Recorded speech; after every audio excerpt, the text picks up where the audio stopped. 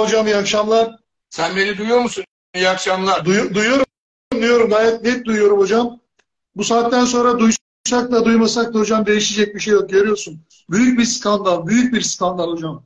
Ben son zamanlarda gördüğüm en büyük hakem skandalı yaşanıyor. Bilmiyorum sen ne düşünüyorsun? Yani olacak şey değil hocam. Olacak şey değil. Uzun yıllardır falan değil ben asırlardır asırlardır böyle futbol aleminde bırak Türkiye'yi asırlardır bu futbol icat edildiğinden beri böyle bir hakem rezaleti görmedim. Böyle bir hakem tiplemesi de görmedim.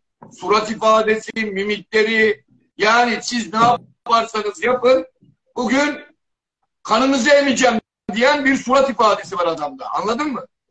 Evet hocam. Ve biz adetten yayına bağlanıyoruz senle. Şimdi yayın açtık. Birbirimize iyi akşamlar diyoruz. Hangi iyi akşamlar? İşte diyorum ya hocam gerçekten bu saatten sonra akşam akşam iyi değil. Her şey skandal, her şey. ben böyle bir şey görmedim. Ya kardeşim, Ben böyle bir şey görmedim. inanılır gibi değil ya. Ya vazgeçtim kardeşim. 8 yıl şampiyon olmamış takım. Taraftarı olarak ben vazgeçtim kardeşim. 1-8 yıl daha olmayalım ya. Ondan vazgeçtim artık. Vazgeçtim. İstemiyorum artık. Ama bunu yapmayın bari. Böyle, böyle bir şey yapmayın. Milyonlarca insanın sinir uçlarıyla oynamayın ya. Yazık günah ya.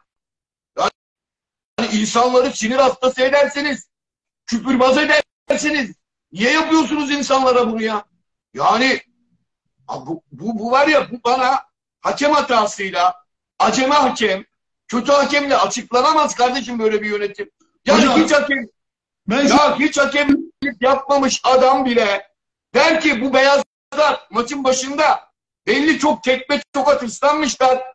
Dur bir iki sarı kart çıkarayım dersin değil mi? Yani adam ilk yarı Fenerbahçe'yi linç ettiler. Oralı değil. Fenerbahçe'nin bir golünü iptal ediyorlar. Zavallı Mert Hakan. İki yıl sonra adam ilk defa lig golü atıyordu. Ve harika bir golü iptal ediyor. Neden etti, ettiğini o da bilmiyor. El mi, değil mi? Ya kardeşim defalarca gösteriyor yayıncı kuruluş. Top şuralarından böyle bir geniş süzün böyle bir şey var. Yani var mı yok mu belli bile değil. Hocam benim gördüğüm kadarıyla Mert Hakan Yardaş orada ne el var, ne faal var, ne hiç çocuk şeye dokunmuyor bile. Oyunculara doğru düzgün dokunmuyor. Topu şurayla indiriyor gidiyor. Yani olacak şey değil. Ya, Sadece o değil.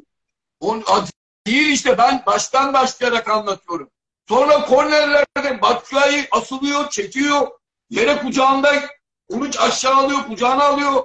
Yerde hızını alamıyor, bir daha vuruyor. Yüzde yüz penaltı vermiyor. Bak her şeyi geçti devrim. Her şey bak bütün goller, moller. Fener'in aleyhine verilen ikinci penaltı. Arda şey kaleci Altay Bayındır çıktı hani adam kafayı vurdu. Evet, evet. Orada zaten orada zaten fizik olarak çarpışır. Fizik kanunları bu, fizik kanunları. Kaleci orada yok olamaz. Kaleci nerede olacak? Yok, mu olacak orada? Kaleci eğer adam topa vurmadan adama vurursa penal adam topa vurmuş. Top zaten Bravo. avuta çıkıyor. Top Bravo avuta, hocam çık- en doğru tespit o. Adam topa vurmuş, gol şansı yok. top avuta çıkıyor. Gol şansı yok. Ondan sonra kaleciyle adamın havada çarpışması fiziksel, fizik kuralları olarak doğal olanıdır. Çarpışmazsa zaten ortada bir gariplik vardır. Çarpışmaması doğaüstü bir şeydir. Cart diye penaltıyı çalıyor. Benim bu anlattığım gibi Altay anlatıyor. Hocam diyor kafayı vurdu. Biz sonra çarpıştık onunla diyor. Adam o kadar suratına görüyor musun suratında? O kadar bir ifade var ki ben talimatı aldım Altay. Bu maç nasıl biteceğini bana söylediler. Hiç uğraşma oğlum diyor. Tak sarı kartı ona da çıkarıyor. Bütün bu rezaletleri geçtim. En sana artık noktayı nasıl koydu gördün değil mi? Maçı bitirirken gördün mü zaten yapılan penaltı kadar Evet hocam bravo. Pe- bak penaltı kadar tehlikeli bir yer orası biliyor musun? Evet, Hem evet çizginin Arda-. Arda Güler falan gibi sol ayağı iyi olan bir oyuncu için penaltı atışı kadar tehlikeli bir yerde maçın son saniyesi bir Allah'ın kulu burada frikik yok diyemez. Bak bir Allah'ın kulu en fanatik Galatasaraylısı, Trabzonlu, Beşiktaşlı bile Zayça foul yapıldı frikikten. Oyna dedi ve maçı bitirdi. Pes. Pes. Artık lafın bittiği son noktadır. Pes. Evet. Pes Hocam, diyorum. Ve, ve sana bir şey söyleyeceğim. Pes ediyorum. Valencia'nın golünü de Valencia'nın golünü de iptal edecekti. Sonra e, edemedi. Çünkü ona da bir niyetlendi. Sonra VAR'dan baktılar, baktılar, iptal edemediler. Ben, Yani ben Vardan da yamuk çizgi bekliyordum. O meşhur çizgileri var ya yamuk çizgileri. evet, evet. İşlerine geldiği gibi o çizgiyi böyle yamuk çiziyorlar ya. Kesin dediğim yamuk bir çizgi çizip bu golü de üstüne yatacaklar dedim. Bak sana yemin ediyorum. Ve düşün yan hakem normalde bırak kardeşim değil mi? Bırak. Offside olmayan bir pozisyona bayrağı nasıl çekiyorsun değil mi? Bak niyetine bak. Bırak. Valencia golü attı. Attı zaten. Offside ise zaten vardan dönecek değil mi? Evet. Yok ona bile tahammülü yok yan hakemin. Deli gibi bayrak sallıyor Valencia'nın golünden sonra. Offside offside diye. Ulan Evet. gol olmuş. Bırak. Bırak sen gol olmuş. Zaten offside ise vardan dönecek değil mi? Hı. Fakat adam öyle içinde fener şeyi var ki adam. Ben diyor kaldırayım. Boş ver ben iptal edeyim. Bak bak bak bak bak. Ve Hocam ben bak son böyle. zamanlarda bu kadar bu kadar böyle kararlı kararlı ben kafada adamlar maçı kurmuşlar. Penaltı gol olmadı ona bile üzüldüler. Ben öyle gördüm yüz hareketlerinden. Jorge Jesus gibi sakin bir adamı bile delirtmeyi başardılar. Adam en son maç bittiğinde gitti. Ona da kırmızı gösterdiler. Yazıklar olsun. Vallahi de billahi de yazıklar olsun. Fenerbahçe'nin bu gece şampiyonluğunu çaldılar. Bak Devrim, ben sana bir şey- şey söylüyorum. Devrim benim şampiyonluk falan umurumda değil kardeşim. Bak geçtim ben oraları diyorum ya. Vallahi umurumda değil ya. Ben her zaman diyorum 8 değil 80 yıl olmazsa Fener şampiyon. Biz Fenerbahçe'yi mi bırakacağız? Sen ben Hayır. bırakır mıyız takımımızı? Hayır hocam. Ben Sonuna kadar. şampiyon, ben şampiyonluğu geçtim kardeşim. Bize bunu yaparken nedir bu adamların arsızlıkları, yüzsüzlükleri, bu e, kural tanımamazlıkları, bu cesaretleri nedir? Ben bunu hazmedemiyorum. Söyle. Ben şampiyonluğu geçtim. Ben bunu geçtim. Ve yani senden de rica ediyorum bundan sonra zaten bilmiyorum nasıl ne zaman olur. Böyle maçlardan sonra böyle canlı yayın yap, yapmayalım. Bana yaptırtma. Doğru Bak yaptırtma. Bak yaptırtma. E, e, kamuoyunda kötü durumlara düşebilirim ben. Anladım. Sen de anladım. düşebilirsin. Sen daha sakinsin, ben düşebilirim. Burada şu anda canlı yayında binlerce insan bizi seyrediyor. Daha sonra da seyredecekler YouTube'dan, değil mi? YouTube'a Evet, yükleyeceksin. YouTube'dan Ağzından- evet. Bak böyle kelimeler çıkar ki ben şu anda yani zor durumdayım. Eşim ve çocuğum var diye Allah'tan şu anda ev, evin içinde. Onun için ağzımı tutuyorum. Yani anlatabiliyor muyum devrimci? Anlıyorum hocam. Ya- Anlıyorum. Hani biz bugün biz seninle çok Fenerbahçe mağlubiyetlerinden sonra program yaptık. Değil mi? Evet. Ne ama yenilmiştik. Evet tamam yenildik ve yaptık. Ama bu bu bu ne ya bu? Burada Hocam. yenilgi de yok. Burada yenilgi de yok. Berabere bitmiş. Yani ama bu ne ya? Bu, bu ayıp ya böyle şey olur mu ya? Yani ben 90 dakika evin içinde kardeşim. Mecbur muyum 90 dakika küfür etmeye? No, mecbur muyum ben 90 dakika küfür etmeye? Hadi beni geç. Tabii ki. Bugün dünyanın en terbiyeli, en ahlaklı bir Fenerbahçelisi bile küfür etmemiş midir? Allah aşkına evde maç. Hocam etmez olur mu ya Allah'ını seversen ya. Yani hani ben penaltıları penaltıları saymaktan yoruldum. Fenerbahçe'ye verilmeyen penaltıları saymaktan yoruldum. Hani penaltıları vermiyorsun. En dediğin gibi en son pozisyonda Zaysa adam öldürecek ya öldürecek. indirdi. Hiçbir şey demiyor. Bakmıyor arkasına. Bunlar neden kaynaklanıyor biliyor musun hocam? Bunlar neden kaynaklanıyor? Neden? Hafta içi ne oldu hafta içi? Lale Orta MHK Başkanı oldu. Ali Koç'la işte davetlerde, şunlarda, bunlarda çıkan resimlerini yayınladılar. Altyapısını oluşturdular. Zaten ne diyorlardı? Biz yarın öbür gün hata olduğu zaman altyapısını oluşturuyoruz. İşte altyapısını oluşturdular. Yazıklar olsun. Böyle Türk futbolunda böyle bir arpa boyu yol alamayız. Devrim- Vallahi de billahi de yazıklar olsun. Devrim, devrim oraları iş geçmiş artık. O, o, bu dediklerini geçmiş. Bu dediklerin zaten her sene yapılıyor. Yok Nihat Özdemir'le Zorlu'da buluştular. Yok Rı- Rıdvan Dilmen şeytan sezonu. Bu, bu dediğin algılar tamam mı? Zaten yapılıyor. Federasyon Başkanı Fenerli bunlar yapılıyor zaten yıllardır. Bu bugün senin Lale Orta ile ilgili söylediklerin onlarla aynı şey. O algı yapılıyor. Bu, bu, bu hepsini geçmiş. Bu algı işi falan değil. Bak bu algı işi falan değil. Durumlar daha ciddi devrim. Böyle dersek tamam mı? İşi buna bağlarsak işi hafifletiriz. Bu algıyla yapılan bir yanlışlık falan değil. Bu çok başka yerlerden bir şeyler yapıyorlar. Çok derin, mevzu çok daha derin. Bak konuşturtma beni. Bu mevzu çok daha derin. Çünkü böyle algıyla, hakem algısıyla MHK'yi böyle baskı altına alarak yapılacak, yönetilecek tarzda bir maç değil. Yönetim tarzı öyle değil devrim. Bak tuhaf bir şey gördüm ben bugün. Ben yanlış gol, yanlış penaltılar dışında hakemlerin ifadelerini, davranış biçimlerini yani Fenerbahçe takımı sahada sanki ne diyelim böyle hani bu ülkenin hani bu ülkenin takımı değil tamam mı? Ulan bunlar buraya geldi. Biz bunları burada paramparça edelim. Anladın mı? Bu ülkeye geldi. Yunan takımı. Hocam sanki Yunan Yunan takımı. Onlara bile yapılmaz. Futbol bu. Yunan takımı da olsa değil mi? Böyle şey yapılır mı? Yapılır mı?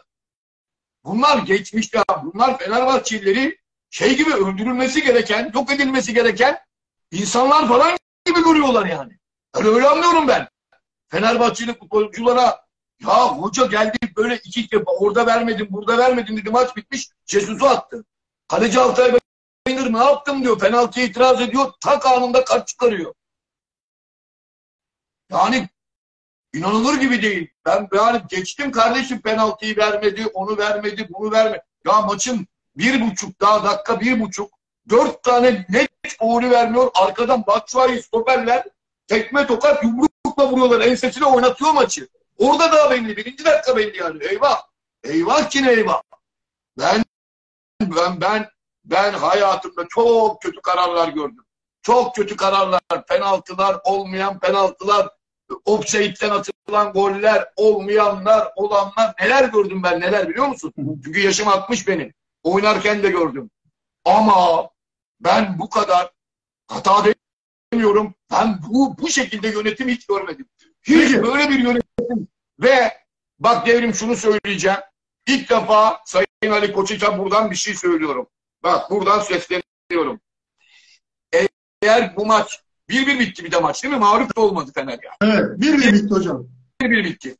Eğer bu maçtan sonra bak eğer bu maçtan sonra o Ali Palabıyık ve Koray Gençerler vardı o varmış. Evet vardı o vardı. Evet. Eğer bu ikisi Türkiye'de bırak Süper Lig eğer 3. ligde Bal Ligi'nde antrenörlük yaparlarsa Ali Koç istifa. Onlar bırakamıyorsa hakemliği, onlar hakemliği bıraktıramıyorsa Ali Koç, Koray Gençerler ve bu Ali Palabıya hakemliği bıraktıramıyorsa Sayın Ali Koç, kendisi Fenerbahçe Kulübü Başkanlığını bıraksın. Bak buradan ilk defa söylüyorum. İlk defa söylüyorum. Peki, ve hocam. Ve tweet attım. Ve tweet attım. Ve tweet attım. Fenerbahçe'nin şu anda 40 kaç puanı var? Fenerbahçe'nin 45. 45. 45 puanla küme düşürmez.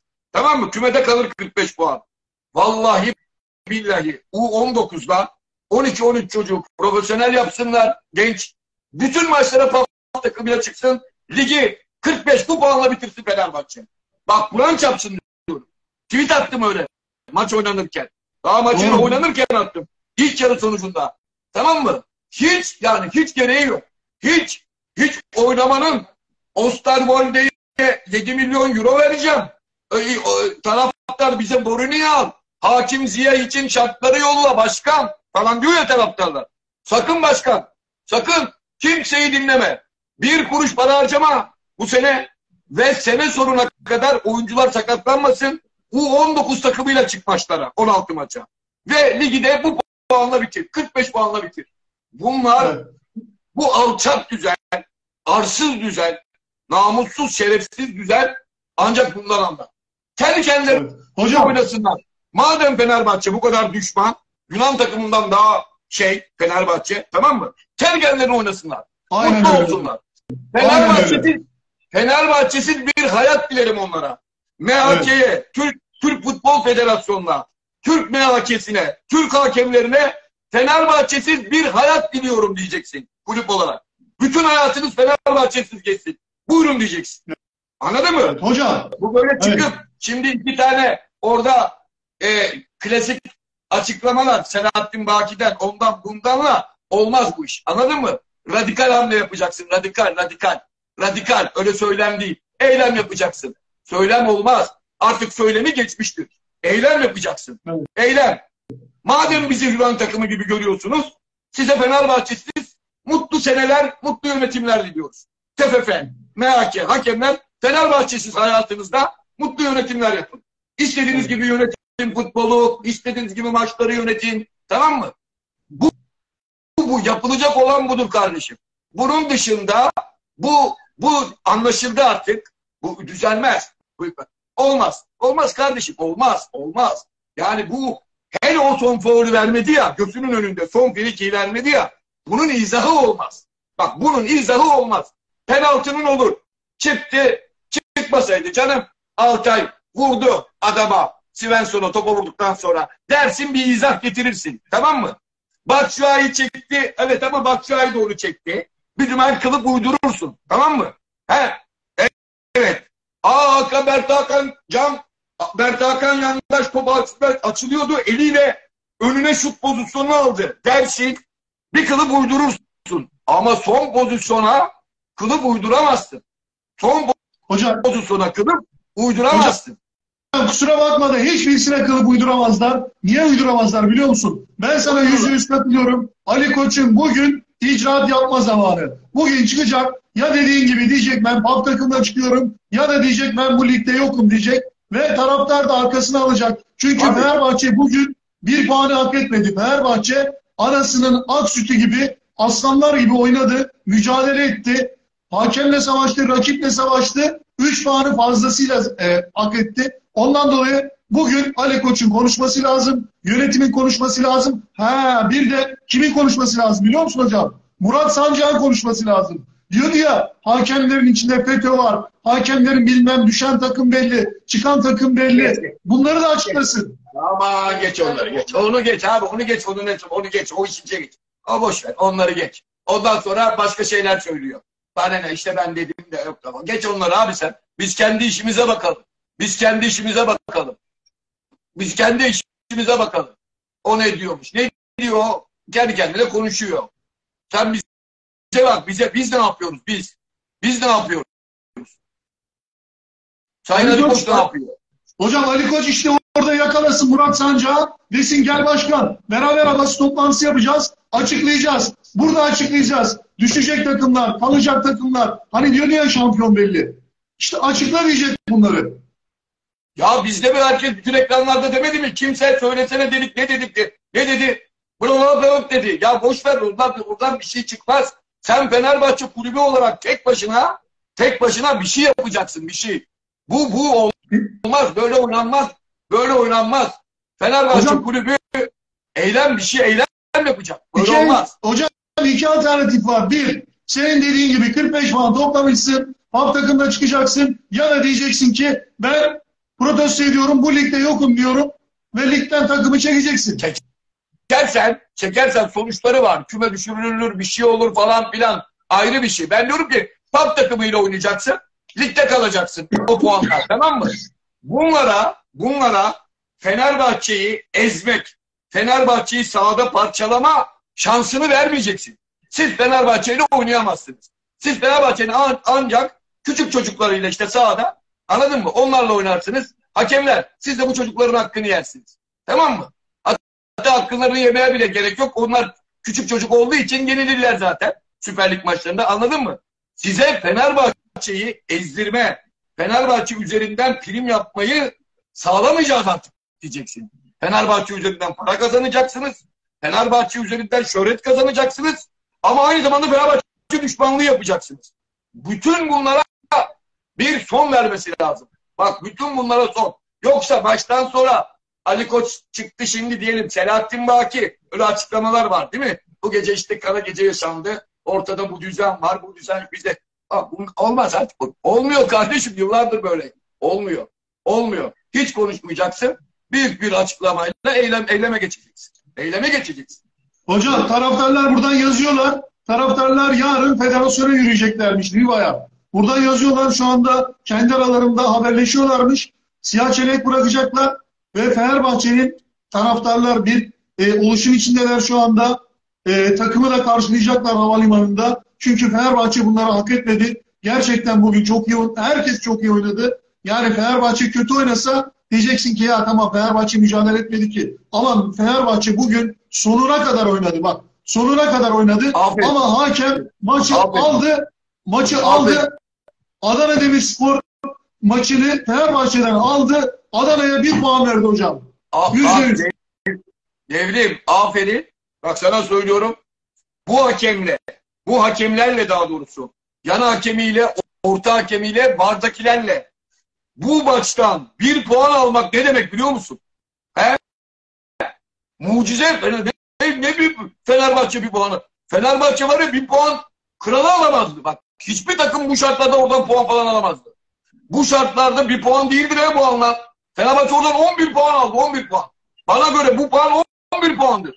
Oradan puan falan alınmazdı bu yönetimle. Bu hakem tipleriyle. Vallahi alınmazdı. Ha neler oldu bugün maçta ya? Ben böyle bir şey olmaz kardeşim. Bak olmaz diyorum sana ya. Fenerbahçe 1 puan aldı ya bugün. 11 puandır bu. 11 Evet. puandır. 20 puandan daha değerlidir bu bir puan. Bu şartlarda bile yenemediler Fenerbahçe. Bak bu şartlarda bile yenemediler Fenerbahçe. Yenemediler. Bütün bu ahlaksızlıklar anca Fenerbahçe ile berabere kalmaya yetti. Fenerbahçe'yi anca berabere bıraktırabildiler. Bu ahlaksız hakemler, ahlaksız yönetiler, yönetimler, bu ahlaksız yönetimin içinde kimin katkısı varsa tamamı Fenerbahçe'yi yenemediler. Bu kadar arsızlıkla anca Fenerbahçe ile berabere kalabildiler. Evet. Peki hocam şimdi Başkan Ali Koç Devrim, devrim kısa tutalım, bitirelim burada bence. ama bir şey söyleyeceğim. Bir, bir, bir, Başım bir soru ağrıdı. var. Sen söyleyeceğini söyle. Benim başım ağrıdı. Şu anda tansiyonum yüksek. Tamam. Bak ben hiç yapmam. Tamam Su hocam bir şey söyleyeceğim. Sadece şunu soracağım çok kısa. Sen Vallahi bir suyunu iç. Buyur Celil. Buyur. Şimdi başkan illaki bir pozisyon alacak, bir icraat yapacak, illaki yapacak. Ee, yapmazsa Fenerbahçe 6 puanlık farkı kapatmaya çalışsın mı? Bundan sonra mücadeleye devam etsin mi? Yoksa gerek yok. Zaten bu takımda bu takımı şampiyon yapmayacaklar. Bugün bunu anladık. Ne olursa olsun e, Fenerbahçe şampiyon olmayacak bu saatten sonra değil. Ligi artık dediğin gibi bir şekilde rolantiye bağlasınlar sence? Devrimcim ben kendi hislerimi söylüyorum. Tamam mı? Benimkilerim ben burada duygularımı söylüyorum. Değil mi? Mantığın dışına çıktım. Mantığı bıraktım şimdi. Futbol mantığını. Duygularımla konuştum seninle yarım saat. Ve bizi izleyenlere karşı duygularımla konuşuyorum. içimdekilerle. Ve benim duygularımda ne var? Ne diyorum her zaman? Fenerbahçe 8 değil 88 yıl şampiyon olmasa benim için bir şey değişmiyor. Genç taraftarlar için değişiyor. Tabii şampiyonluk başarı istiyorlar. Benim Fenerbahçeliyim başka bir şey sen biliyorsun. Şampiyonlukla alakalı değil benim Fenerbahçeliliğim. Dolayısıyla ben şöyle demiyorum. 6 puan, 6 ha 4'tü, ha 4 ha 6 bir şey değişmez. Hafta sonu rakibin Trabzon maçı oynayacak değil mi? Puan kaybı yaşar. Sen yenersin. 6 bir anda 3'e iner. Rakibin iki hafta bir ondan sonra Antep'e gidiyor. Bir berabere kalır. Kafa kafaya olsun bir şey ol- olabilir. Daha 16 maç var. Tamam mı? Onun hesabını kulüp başkanı yönetim, futbolcular, teknik heyet yapsınlar. Tamam mı? Ben kendi düşüncelerimi anlatıyorum. Ben yapmam. Ben yapmam. Şampiyonluk kaçtı demiyorum ben. Ama ben yapmam. Benim Fenerbahçe'm şampiyonluk üzerine tutmadığım takım olan Fenerbahçe tamam mı? Bu arsızlara meze malzeme olmamalı diyorum ben. Anlatabiliyor muyum? Anladım. Benim derdim o. Bu ahlaksız, fütursuz hakemler, MHK ve onların arkasındaki yapı Fenerbahçe'ye bu şekilde davranıp kendilerini tatmin etmesinler. Anladın mı? Anladım. Fenerbahçe onların tahmininden çok. Ben ben bunu istiyorum. Ben bunu başkana söylesem başkan bunu yapar mı? Yapmaz. Şimdi başkan benim dediğimi yapar mı? Ben artık PAF takımıyla oynuyorum. Bu lige nalet olsun der mi? Demez. Çünkü bakıyor hala Fenerbahçe'nin tamam mı? Yüzde 40 şampiyonluk şansı var. Yarı yarı olmasa bile yüzde 60 Galatasaray, yüzde 40 Fenerbahçe'nin şampiyon olma şansı var. Başka takımların bana göre kalmadı artık. Yani Galatasaray'ı Fenerbahçe'den başka yakalayıp geçecek şampiyon olacak takım kalmadı bana göre. Açık söyleyeyim Aynen öyle kalmadı. hocam. Kalmadı. Yüzde yüz doğru. Ha, dolayısıyla Galatasaray'ın Galatasaray şampiyonluktan olacaksa bunu Fenerbahçe yapabilir. Ali Koç falan da böyle, böyle düşünecektir zaten hocalar. Anladın mı? Ama ben öyle, ben öyle düşünmüyorum. Onlar mantıklı olan düşünmek zorunda o bunu yapacaklar. Ben başka şeyi düşünüyorum. Ben şampiyonluk düşünmüyorum. Hiçbir zaman da sen biliyorsun değil mi? He? Ben şampiyonluk falan peşinde olmayan bir adamım. Ben Fenerbahçe Evet. şampiyon oluyor diye mi Fenerbahçeli oldum çocukluğumdan beri? Evet. Hele bu yaştan sonra Fenerbahçe 10 yılda şampiyon olmasa ben Fenerbahçe'yi bırakacağım? Tabii ki bırakmayacağız hocam. Niye bırakalım? Fenerbahçe bırakılır mı ya? E tamam, e tamam ben niye ben niye öyle bir yapayım? Ben diyorum ki bu alçak, ahlaksız tipler Fenerbahçe ile kendilerini tatmin edemesinler. Onu söylüyorum. Ali Koç. Da, Ali Koç değil, hangi Fenerbahçe'nin başkanı olursa olsun, hangi yönetimi olursa olsun benim bu dediğimi yapmaz, yapamaz. Yap- Evet. Anladım. Yapmaz yapamaz. Yapmaz yapamaz. Ama ama en azından tek tek de olsa bu arsızlara cezalandır. İşte hakemlik hayatını bitir. Bu adam bir daha o surat tipiyle Fenerbahçe takımının oyuncularına, hocasına öyle davranamaz. Anladın mı?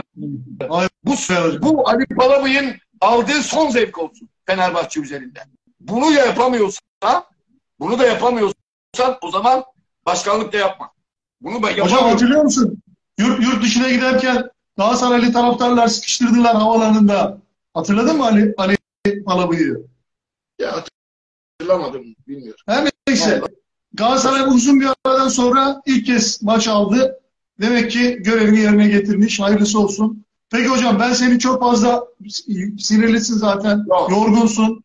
Biraz da hafif e, grip al enfeksiyonun var. Çok geçmiş olsun. Yok. E, peki son olarak söylemek istediğin bir şey var mı hocam? Yok.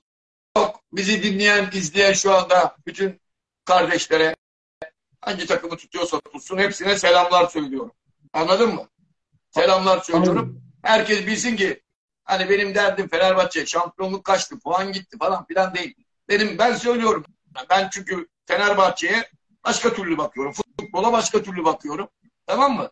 Onun için yani e, herkese iyi geceler diliyorum. Çok da uzatmayayım. Sağ ol hocam. Çok teşekkür ediyorum. Görüşürüz hocam. Sağ olasın. Çok sağ ol. Teşekkürler hocam.